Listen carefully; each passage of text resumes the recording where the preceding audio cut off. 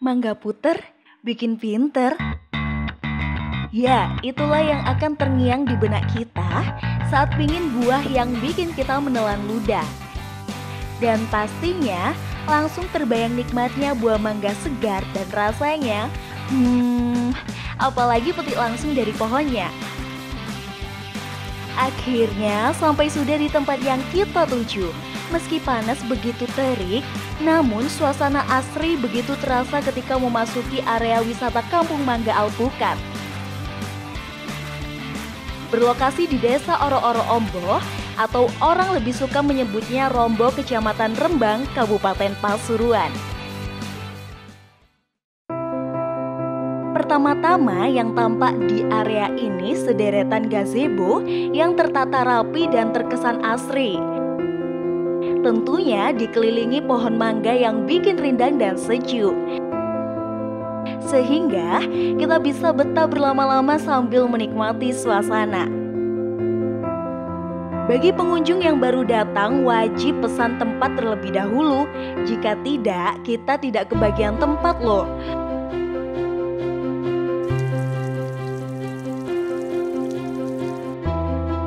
Tuh ya kan, semua tempat sudah penuh. Mereka udah pada asik sambil menikmati hidangan yang pastinya menu khas dari desa tersebut. Dan tak lupa protokol kesehatan tetap dijalankan. Untuk tempatnya jangan khawatir. Area ini siap menampung banyak pengunjung.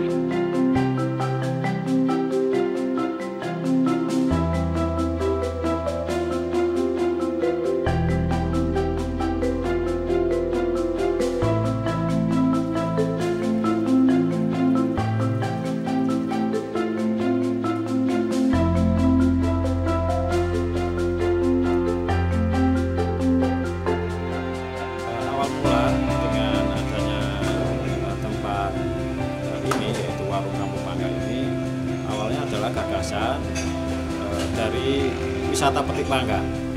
Yang memang secara umum bahwa di tempat kami ini adalah sudah terkenal dengan mangga Konol 21 atau mangga puter Kabupaten Pasuruan yang menjadi anggalan anggalan Kabupaten Pasuruan. Kemudian dengan viralnya mangga kolonal ini atau mangga puter ini kami mencoba untuk menjemput bola dan berusaha untuk menghadirkan masyarakat luar bisa nyaman di sini, bisa nyantai di sini dan bisa memetik mangga langsung juga di ini. Fasilitas yang kami siapkan tentu tempat yaitu tempat nongkrong, tempat makan, juga musola. Dan ada lagi fasilitas yang kami eh, siapkan untuk para pengunjung. Yang khususnya ingin petik mangga ke kebun mangga itu kami siapkan fasilitas kendaraan angkutan wisata yang itu bisa mengantar pengunjung ke mana saja di area di lokasi termasuk di kebun mangga yang memang tempat peproduksi dari mangga Ronald 21 itu. Kalau gagasan wisata petik mangga sudah tiga tahun. Cuman yang warung kampung mangganya ini baru satu tahun. Berdiri dan alhamdulillah eh, sangat diterima oleh masyarakat dan masyarakat luar bisa mengenal juga di tempat ini.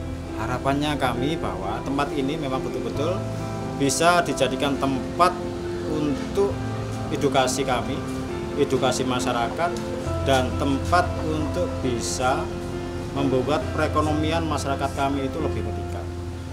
Khususnya dari petani mangganya termasuk dari UMKM-nya ini bisa kita tampung bisa kita pasarkan di tempat ini dengan rencana pengembangan eh, tempat ini kami tetap ingin eh, kerjasama dengan pemerintah pemerintah desa pemerintah kabupaten maupun pemerintah provinsi dalam mengembangkan usaha kami di sini yang tentu menurut kami ini masih eh, belum cukup karena eh, ada beberapa yang sangat membutuhkan khususnya membutuhkan biaya dalam pengembangan eh, tempat-tempat wisata petik mangga yang ada di sini termasuk infrastruktur ini banyak yang masih belum tersedia di sini khususnya untuk jalan kami ini nanti menjadi sasaran ke depan agar supaya para wisata yang ingin keliling ke desa kami kebun mangga tidak ada kesulitan.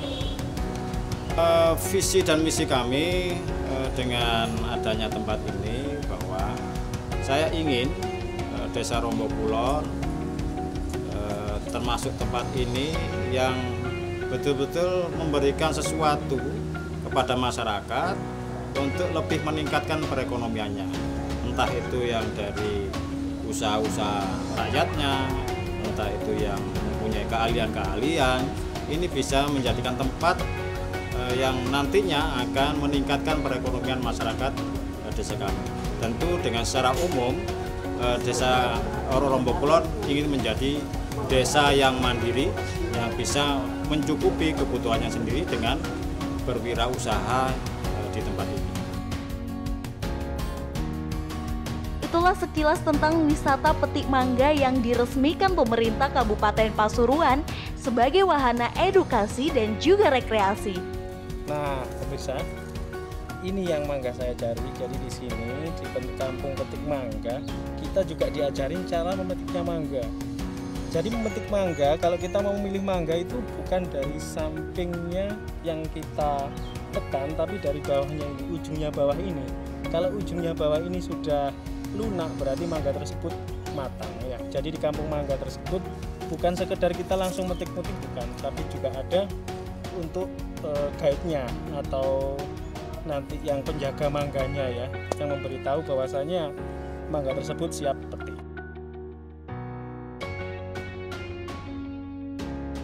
Hayu, jadi kapan nih giliran sahabat AMVM ke sini?